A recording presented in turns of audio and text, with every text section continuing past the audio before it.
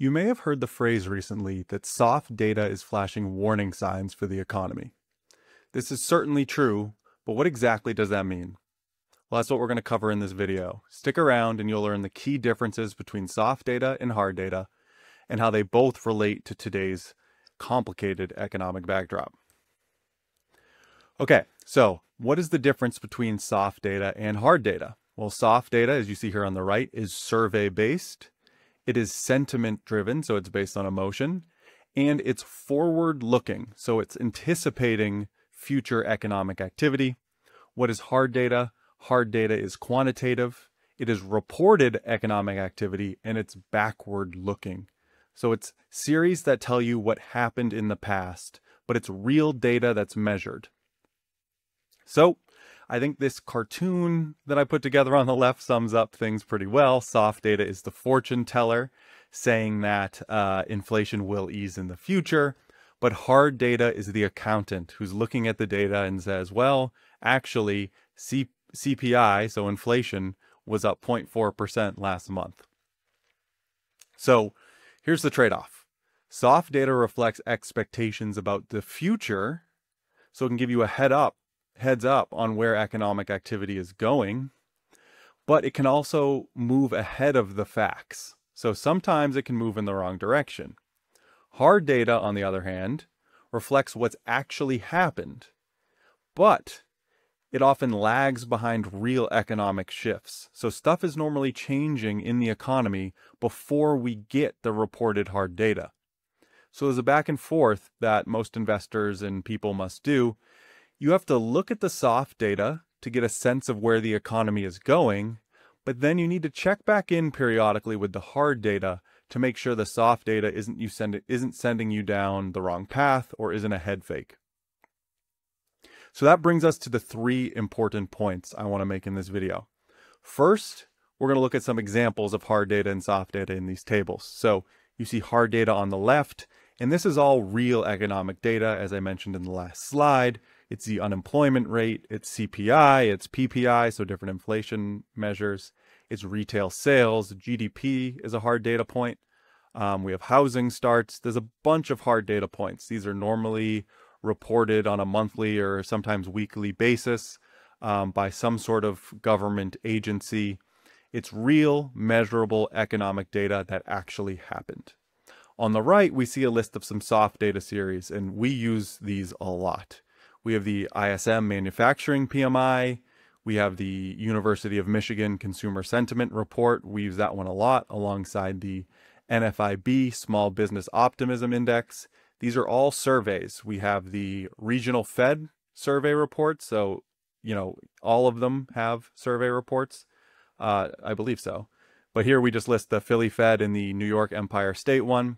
And then housing market also has some soft data with the NAHB take some time, review these lists, um, just different data points that fall into different categories. Uh, hopefully, it makes sense to you why you know survey data is in soft data, and the government reported numbers are in the hard data. So let's get into the three important points, uh, and I'll cover these on following slides. One, soft data is more volatile than hard data. Two, soft data tends to lead hard data. And three, soft data and hard data do diverge from time to time.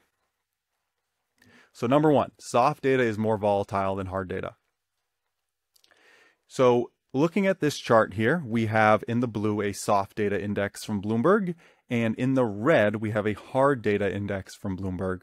You'll see on these two axes that they're the same, right? So the left axes and the right axes are the exact same numbers, so they're plotted in the same uh, plane. And you'll see that the blue soft data series has much bigger swings than the hard data series does. And this makes sense, right? Because soft data is based on people's emotions, which are more volatile than the actual reported economic data. So you might say, you know, we talked about the trade offs earlier, but, you know, hard data is really stable. Um, why don't I just wait a little bit extra time for the real numbers to come out? Why am I wasting my time trying to project those numbers using more volatile, maybe some could say less reliable data series like the soft data series? Well, that brings us to point two, which is that soft data series tend to lead hard data series. And this makes a little bit of intuitive sense, right? So emotions eventually affect real world decisions. Again, I think that's intuitive. You make decisions based on how you're feeling. That's true of individuals, that's true of companies.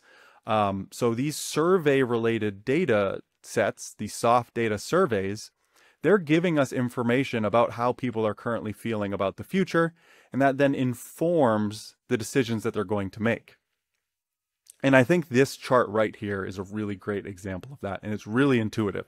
So in the blue, we have a soft data series, the NFIB, so the Small Business Optimism Index. I actually included this series, um, or version of it, in one of my previous videos, if you want to go check that out. Um, but what this series is, is the amount of small businesses within the survey that say their biggest problem is poor sales.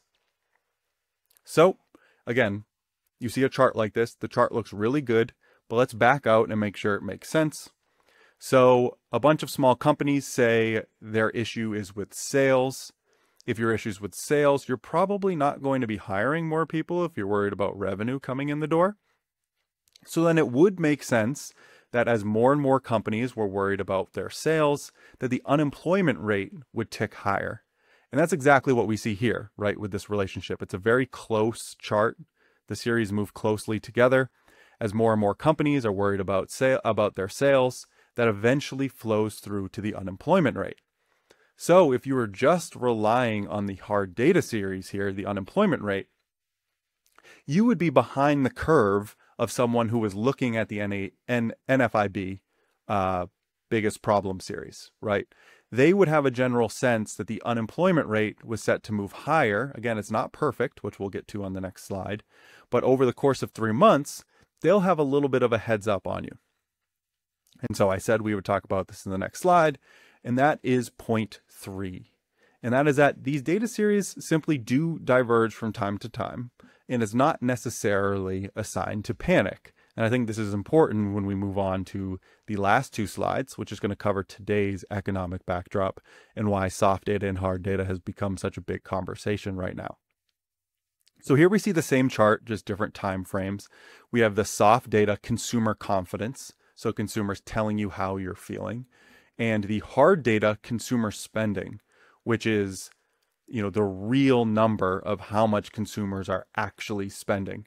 There actually isn't really a strong lead time here as you know there's not much of a lag between how consumers are feeling and what they're spending, right? And I think that makes a little bit of intuitive sense whereas if me as a consumer I'm not feeling good, I'm not going to spend today, right? So then consumer spending that I might spend, not happening. So here we can see it's diverged in two ways in the past before, right? So in the early 90s, the soft data series, consumer confidence, fell, but consumers were still spending money. Eventually, the series sunk up again. And on the right, we can see the opposite occurred. So the soft data series, consumer confidence, rose ahead of COVID, while the hard data series fell. I, unfortunately, I had to cut the slide here because COVID really messed with this data and it would sort of ruin the point I was trying to make. Um, but just just goes to show that this data can diverge from time to time. So that brings us to today. Here's why people are concerned. And that is because we have seen a big, big move in the soft data.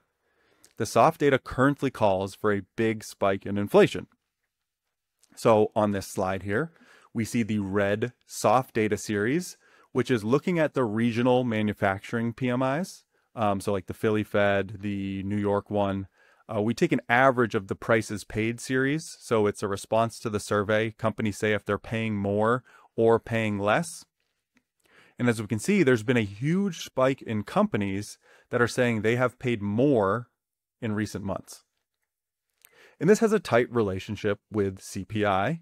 Again, the soft data series leads, you can see in the um, legend here, advanced three months. It leads the hard data series by about three months. So we just had the April CPI data report, looked great. Inflation's coming down. However, if you look at the soft data, that says that this sort of nice, slow fall in inflation is going to be short lived.